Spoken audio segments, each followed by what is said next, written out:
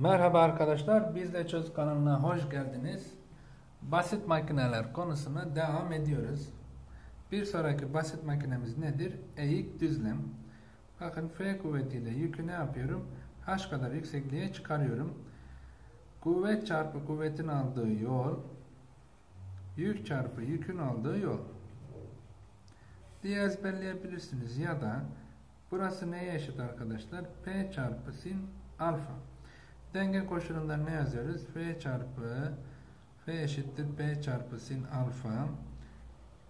Bakın sin alfa neye eşittir? H bölü S'ye eşit. İçler dışlar çarpımı yaparsak da aynı sonuca ulaşmış oluruz. Evet, sistem dengede olduğuna göre G bölü P'yi soruyor. Bakın, kaldıraçla ilk düzlemi ne yapmış? Birleştirmiş. Ben buraya ne diyebilirim? F diyebilirim. Döndüm, burası da nedir? F. Bakın desteğe göre ne alacağım? Tork alacağım. Burayı unutalım. F 1, 2, 3, 4. F çarpı 4 eşittir P çarpı 1.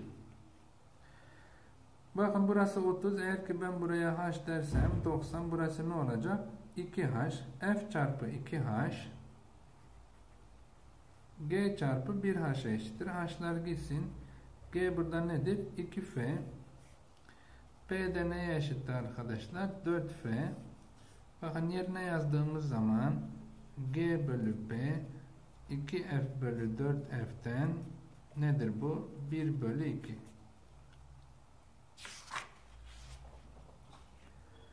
Bir sonraki basit makinemiz nedir arkadaşlar? Çıkrık. Bakın bu bir kuyu. Kuyudan su çıkarıyor. Bakın kuvvet çarpı kuvvet yok kolu. Yük çarpı yük yolu. Bunu hep kullanacağız. Burası da nedir? Yan profil. Ne demiştik? Basit makineler tork prensibine göre çalışır. O yüzden bunların bir dönme noktası var. O yüzden ben de dönme noktasına göre tork alıyorum. P çarpı R, F çarpı büyük R'ye nedir? Eşit. Bazı kitaplar veya bazı kaynaklar yükselme miktarlarını da sorabiliyorlar. Yükselme miktarı yani H. H nedir bakalım? Bu silindirin çevresi nedir? 2 pi R çevre çarpı nedir? Attığı tur sayısı. Bu da nedir? Tur sayısı kadar. Yükseğe de çıkabilir. Alçaya da inebilir. Bakın çıkrık, makara ve kalas sisteminden oluşmuş. Sistem dengede olduğuna göre G bölü P nedir? Şimdi buraya bir T diyelim. Dolaştım burası da nedir? Bir T. Buradaki ipe de F diyelim. Bakın geldim bir F. Dolaştım bir F. O zaman sayıyorum. Bakın. 1, 2, 3. 3F kime eşittir? P'ye eşit. Makaradan bunu buldum. F çarpı R çıkırıktan T çarpı 3R'ye eşit.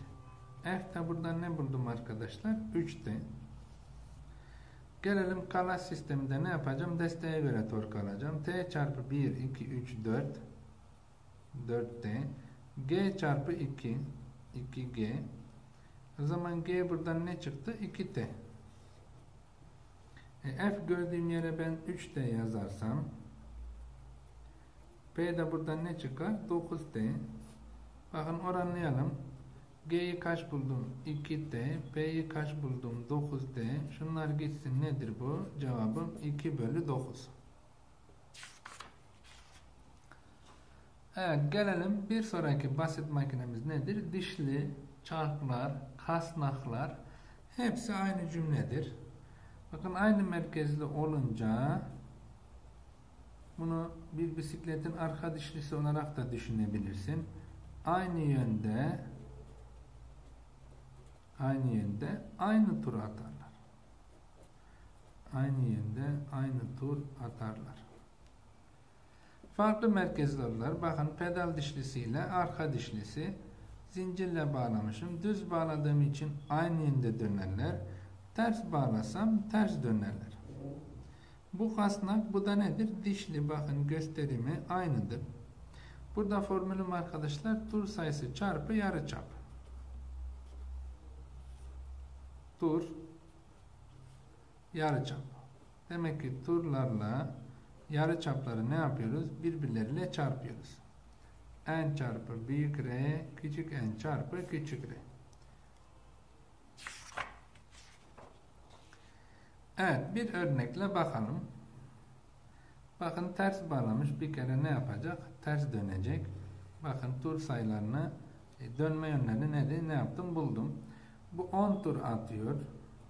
Bakalım 2 çarpı 10'dan nedir? 20. Buranın da 20 olması için ne diyeceğim? 5R çarpı NY. NY'yi buradan ne bulurum? 4 tur.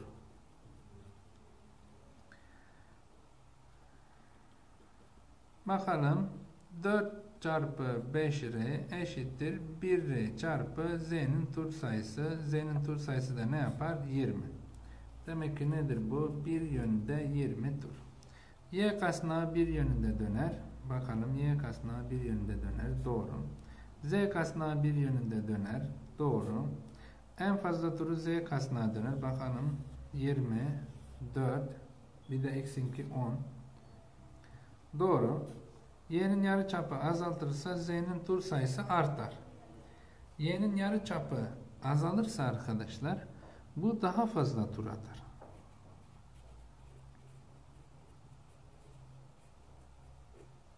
Daha fazla tur atar. Bakalım şimdi. nx çarpı rx eşittir ny çarpı ry. Sonra dedi ki ny çarpı ry nz çarpı rz'ye eşittirdim. Bakın bunu ortadan kaldırdım mı z'nin tur sayısı ne yapmaz? Değişmez. O yüzden bu nedir arkadaşlar? Yanlış.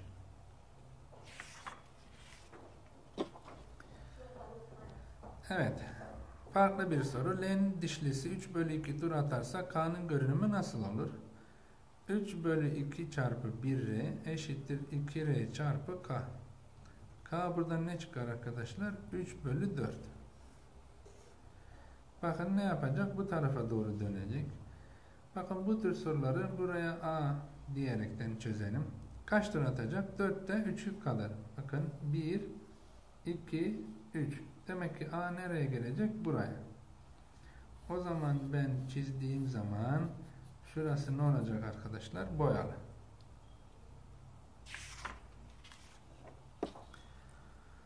Evet. Başka bir soru daha.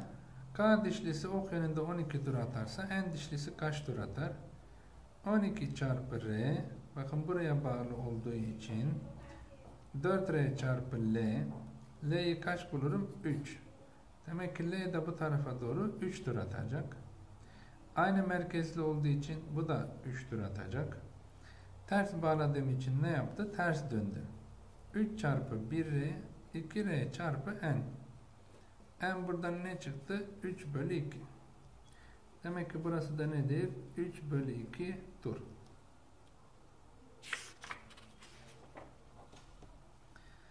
Evet, X ve Y'nin yer değiştirme olanlarını sormuş. Evet, mesela ok yönünde dönüyor. Bakın ters yönde, ters dönmüş. Bu da ne yapacak? Ters dönecek. Demek ki bu ne yapacak? Aşağı inecek. X de ne yapacak? Yukarı çıkacak. 2R yarı çaplı dişli kaç tur atsın arkadaşlar? Mesela 4 tur atsın. 4 çarpı 2'den bu kaç tur atar? 8 tur atar. E bu da o zaman 8 tur atar. Aynı merkezli olduğu için. O zaman 8 çarpı 3R eşittir 2R çarpı X. X burada nedir? Bu da 12 tur yapar. O zaman bu da nedir? 12 tur. O zaman diyeceğim ki bunun çevresi 4 pi r, çevresi 4 pi r. Bakalım x nedir? 4 pi r çarpı 4 turdan 16 pi r. Y'ye bakalım. 12 çarpı 4 pi r. Bu da ne yapar? 48 pi r. Oranlarsam ne çıkar arkadaşlar? 1 bölü 3. Başka sayılar da verebilirsiniz. Yine sonuç ne çıkacak? 1 bölü 3. Evet. Başka bir basit makinemiz nedir? Vida. Bakın kuvvet çarpı kuvvetin aldığı yol nedir? Kuvvetin aldığı yol çevresi kadar ve yerin kendisine karşı gösterdiği ya da tahtanın kendisine karşı gösterdiği bir direnç var. Dirençte ne kadar yol almış oldu? A. R çarpı A. Bakın A vida adımı. R direnç.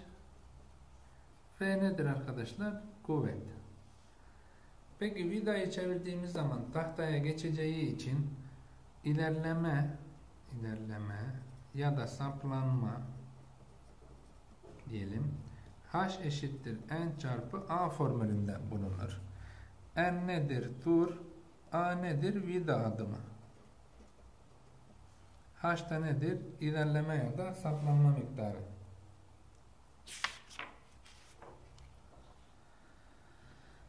Evet, iki tane vida vermiş. Vida adımlarını soruyor. Bakın 4 tur, 5 tur, 2h ilerlemiş, 3h ilerlemiş. O zaman yazıyorum bakın. 2h eşittir a1 çarpı 4 3h eşittir a2 çarpı 5 oranlayalım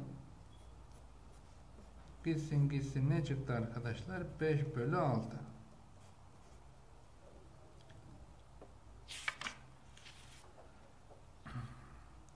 Evet, vidaya uygulanan tepki kuvvetini bulunuz diyor.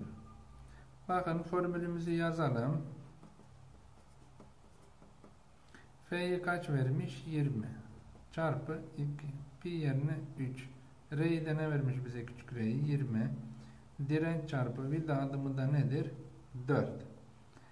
Sadeleştirelim. 5 ne yapar? Buradan 600 Newton'luk bir tepki kuvveti oluşmuş olur sevgili arkadaşlar. Bizle Çöz kanalında kalmaya devam edin arkadaşlar. Kendinize iyi bakın. Görüşürüz.